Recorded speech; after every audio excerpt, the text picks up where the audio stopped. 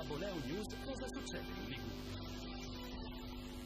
Qui su Babbo Leo News ci occupiamo delle tematiche relative ai municipi di Genova. Andiamo in Val Bisagno per approfondire gli aspetti legati al progetto di restyling dell'acquedotto storico di compagnia di Roberto Davolio, presidente del municipio Media Valbisagno, grazie per essere con noi. Grazie Intanto eh, qualche dato sull'opera e spero di non sbagliare, 15 km di passeggiata pedonale, 22 circa se si considera il percorso risalente al 1600, quindi eh, parliamo eh, della valle del Geirato, percorso che però allo stato attuale risulta percorribile solo a tratti. Allora si sta lavorando e si lavorerà per far tornare l'acquedotto agli antichi splendori, eh, diciamo eh, così. Sono anche in corso già lavori eh, legati a questo progetto di riammodernamento. Io chiedo a lei come si sta lavorando e soprattutto come si lavorerà e poi sarebbe da capire come si vorrebbe eh, lavorare anche in collaborazione con l'amministrazione eh, comunale. Prego. Intanto buongiorno a tutti i radiospettatori. Beh, eh, innanzitutto è chiaro che l'acquedotto storico è veramente un valore aggiunto per la Val Bisagno, come lo è di fatto il cimitero monumentale di Staglieno, quindi la Val Bisagno non è soltanto servitù, ma offre anche eh, delle, delle, delle, delle, soluzioni di questo tipo, oltre anche ad esempio alla bacia di San Siro, che mi piace ricordare perché anche quello è veramente un monumento importante che abbiamo in ballata. E sulla valorizzazione dell'acquedotto noi come municipio ormai da anni cerchiamo di, di trovare delle risorse per poterlo rendere completamente agibile.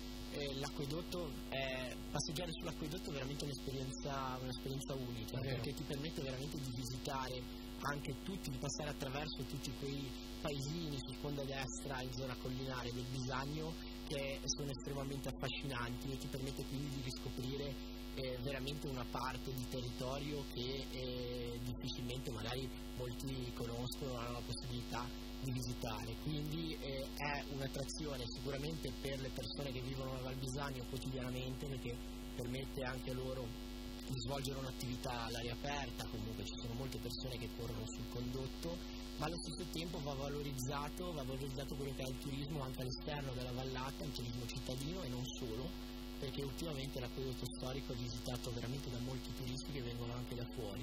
È un percorso come ha detto lei prima, che è molto esteso, quindi c'è la possibilità di, di, riscoprirlo anche nei suoi tratti medievali, eh, perché l'acquedotto storico ricordiamo che eh, i, primi, i, primi, segni diciamo, li abbiamo dall'epoca romana, poi abbiamo il, il tratto medievale che in parte nella zona del Sasco Staglieno è percorribile, è stato chiaramente rivisto in base alla necessità di ampliamento del, 1400 eh, dopodiché poi ha avuto un'evoluzione continua e ci sono dal punto di vista architettonico eh, delle, delle, testimonianze importanti, mi riferisco ad esempio ai due ponti sifoni, sì. eh, che sono veramente delle opere importantissime, per non parlare poi del ponte su Rio Torbido e il ponte di Cavassolo del 1600, quindi è veramente un percorso da scoprire nella sua interezza. Stiamo parlando qui eh, su Babboleo News in compagnia di Roberto Davolio, presidente del municipio Media Valbisagno dell'acquedotto storico di Genova, l'abbiamo sottolineato, un qualcosa di molto interessante, un percorso ampio eh, per i genovesi e non solo. Eh, abbiamo ricordato, ha ricordato lei, eh, quello che è il valore anche di questo patrimonio genovese e non solo.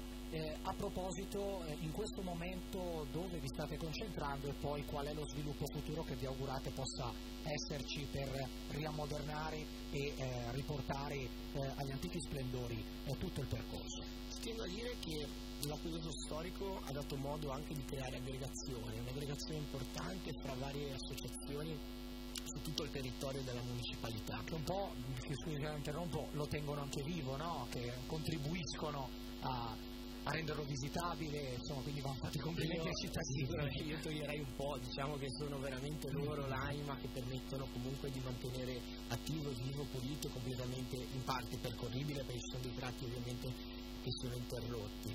Eh, però devo dire che veramente la forza e le associazioni che lavorano costantemente sull'acquedotto ci permette comunque di averlo e di avere un tracciato, di, di avere un tracciato percorribile in vari tratti. Eh, il municipio, l'amministrazione comunale sicuramente deve fare di più, nel senso deve, eh, deve pianificare una serie di interventi che poi devono essere tesi innanzitutto a eh, sistemare le situazioni, le situazioni di, di, pericolo che sì. possono in qualche modo compromettere eh, la percorribilità, percorribilità, del tracciato. Mi riferisco ad esempio alla sostituzione di alcune lastre di luserna perché il condotto negli anni è stato coperto poi con queste lastre che di fatto ne, ne consentono, eh, consentono alle persone di camminarci sopra. E dopodiché ci sono degli interventi importanti strutturali come ad esempio eh, il collegamento tra Pino e Trensasco sì. con la realizzazione di un, di un, ponte, in quel caso lì, che è crollato recentemente e che non permette più al percorso eh, di, di, essere comunque continuativo. Quindi abbiamo sicuramente degli interventi importanti che vanno pianificati in questi anni perché rendere completamente fruibile l'acquedotto sarebbe sicuramente un vantaggio importante per tutta la Val Bisagno. Sugli ultimi interventi che citava, quindi anche più consistenti dal punto di vista monetario, servono fondi. In questo senso l'aiuto che arriva da, dal comune dall'amministrazione centrale, chiamiamolo così per quanto riguarda Genova, sarà dovrà essere fondamentale. Quanto serve più o meno per portare avanti eh, questo tipo di opere? Siamo eh, oltre, parliamo di 50.000 euro, ora indicativamente, mi corregga se sbaglio, quanto, quanto è necessario? In realtà eh, se noi consideriamo tutto, tutto il restyling completo dell'acquedotto, quindi io mi riferisco anche a quei monumenti a cielo aperto che abbiamo eh, come il ponte del 1300 Sant'Antonino piuttosto che altri pezzi di acquedotto che meritano veramente un, un recupero completo, la cifra sicuramente è molto molto superiore rispetto a quella che, che ha detto prima ci sono però degli interventi che si riescono a fare con circa dai 50 ai 100 mila euro, mi riferisco ad esempio alla sostituzione delle lastre nei punti più critici. Dopodiché ci sono degli interventi come i ponti di collegamento, io adesso ho fatto cenno a quello del Trensasco, ma nel, nel, tracciato diciamo seicentesco della Valle del Gerato ci sarebbe anche da ripristinare il ponte su, sul Casci e quindi a quel punto quindi andiamo ben oltre insomma, le cifre che citavamo prima sicuramente eh, noi stiamo spingendo al massimo come municipalità affinché il comune eh, sia, sia, in grado nei prossimi anni di investire le cifre necessarie per poter, ripeto, rendere questo percorso completamente percorribile. Questo è sicuramente un qualcosa su cui si, si sta lavorando. A proposito delle associazioni di volontariato, siete in contatto anche perché sono comunque settimane, eh, mesi importanti, nonostante si attendano eh, delle, delle, manovre diciamo, di più ampio respiro, eh, quali potranno essere? Insomma, si continua con una sinergia perché lo si vuole valorizzare nonostante manchino ancora passaggi importanti. Sì, noi abbiamo comunque un tavolo sempre aperto con tutte le associazioni che lavorano e si impegnano sull'acquedotto, cerchiamo di fornire gli strumenti per poter eh, portare avanti l'opera del volontariato, c'è da dire che noi come municipio quest'anno cercheremo di attivare anche un supporto con le, nostre, con le nostre risorse per quanto riguarda proprio il mantenimento del verde che è sempre più difficile da, da, da effettuare e devo dire che eh, mi piace ricordare anche uno degli ultimi progetti che è stato portato avanti proprio con le associazioni e in questo caso anche con il CEIS sì. eh, dove c'è stato veramente un intervento importante, un progetto importante di integrazione che ha permesso comunque a una decina di richiedenti asilo di lavorare eh, insieme alle associazioni, quindi insieme al nostro tessuto associativo, per recuperare un bene importante per la vallata. Hanno effettuato un lavoro importantissimo perché comunque hanno verniciato eh, centinaia di metri di ringhiera, però poi il valore che questo progetto ha dato al territorio chiaramente è superiore rispetto a, un sem- a una semplice